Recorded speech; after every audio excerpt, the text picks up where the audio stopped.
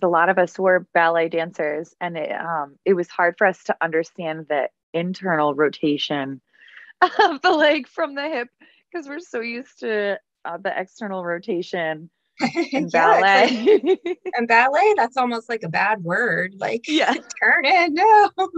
um, and it's actually like I feel like in ballet, the only time you turn in was to practice your turnout. You know, you you turn in for a second, so then you can rotate out. Whereas in it's really functional. You need to have that strength and that turned in position to be able to support yourself. And yeah that that's completely new for me. Yeah. Definitely understand that pain